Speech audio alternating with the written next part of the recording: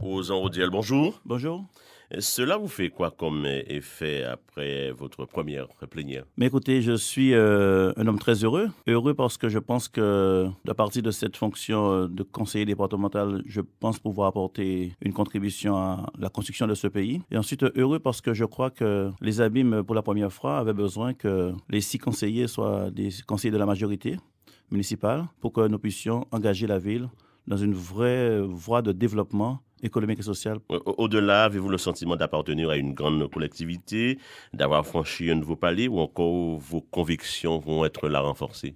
Mais écoutez, mais forcément un palier a été franchi. Nous appartenons à une très grande collectivité avec une très grande présidente euh, du conseil départemental, avec euh, des élus euh, de très bonne qualité. Nous avons été accueillis par des administratifs également qui connaissent très bien leur boulot et qui, par leur comportement, ont en très peu de temps démontré euh, leur loyauté envers la majorité actuelle du département. Quand je parlais de, de nouveau palier, je parlais de vous précisément à titre personnel. Forcément, bien sûr, euh, c'est un nouveau palier.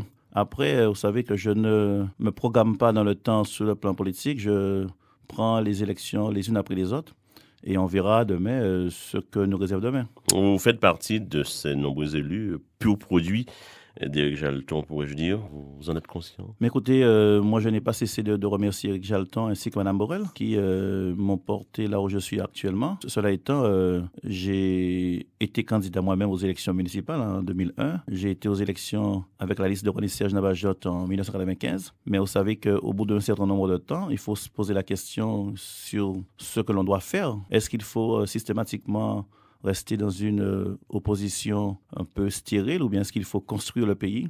Je pense qu'il arrive un moment où on a envie de construire le pays et ça a été euh, l'une de mes décisions après 2001, après que je sois allé aux élections ainsi qu'Éric Jalton se soit présenté pour la première fois aux élections municipales eh bien, nous nous sommes entendus pour que demain, nous puissions faire route ensemble. C'est ce qui se fait depuis 2001. Justement, dans votre trajectoire, dans votre cheminement, on a constaté une profonde mutation dans vos rapports euh, avec la majorité.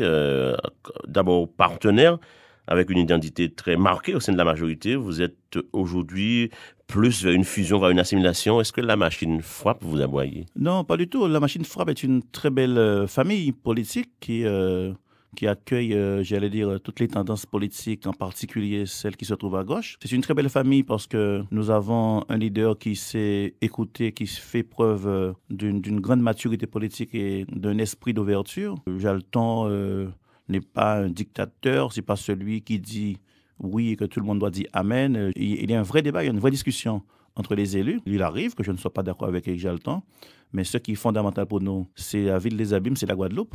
Et lorsqu'on parle de la Guadeloupe et des abîmes, eh bien, on, se met d'accord. Euh, qu'en est-il du, du, PPDG, en tout cas la section euh, des abîmes? Vous l'avez laissé euh, à ou... La section du PPDG est dans de très bonnes mains, dans les mains de Mme Marie-Hélène Jacobé-Coali, que j'aide à construire cette section. Cela étant, c'est une section d'un parti politique. Vous savez bien que le militantisme ça ne court pas les rues aujourd'hui, surtout dans un parti politique, j'allais dire, classique.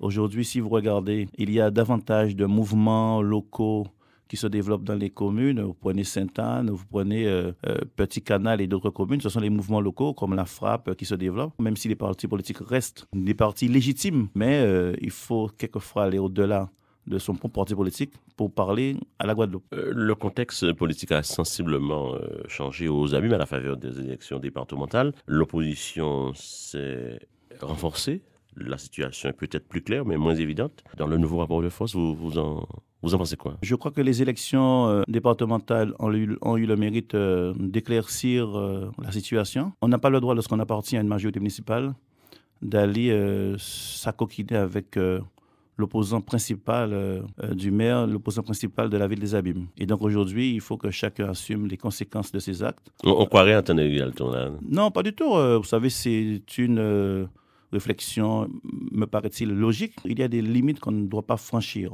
On peut ne pas être d'accord, on peut voire même s'opposer durant un laps de temps très limité, mais il arrive un moment donné où on doit faire entendre la voix, soit de la ville des Abîmes, soit de la Guadeloupe. Je considère qu'il y a euh, un homme un peu perdu, esselé, euh, vous dites renforcé, je crois que c'est davantage... Euh, enfin, on peut le lire différemment, ça dépend où on se trouve, oui.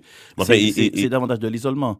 Serva a perdu pratiquement l'ensemble de ses élus. Ensuite, vous avez Dominique Théophile euh, qui vient se rajouter dans l'opposition. Bien écoutez, euh, nous allons combattre les oppositions de la ville des Abîmes. Ça, Ça, c'est pas nouveau. Je veux dire, euh, les oppositions sont même normales dans une collectivité, dans une démocratie. Mais, je vous dis, on doit assumer les conséquences de ces actes. Donc, tout baigne, c'est la sérénité retrouvée pour un meilleur développement euh, au service des Abîmiens Nous avons retrouvé une certaine sérénité. Il y a quelques réglages à faire. Il y a quelques situations individuelles qu'il faut régler. Mais aujourd'hui, nous travaillons dans la sérénité. Notre majorité s'est renforcée. Nous sommes davantage confiants dans l'avenir. Nous avons la confiance de la majorité départementale. Nous sommes six conseillers à soutenir la politique de la ville des Abîmes. Nous avons le soutien de la région. Nous sommes entendus au niveau des instances de l'État. Aujourd'hui, nous avons les, cartes en main pour faire avancer les abîmes. Il suffit de regarder ce qui se passe sur le Rézé, sur Grand Camp, sur le centre beau des abîmes.